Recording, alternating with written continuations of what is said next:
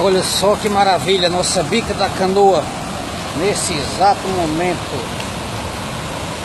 Ô oh, benção de Deus! Que linda está a nossa cachoeira hoje. Observem aí de pertinho.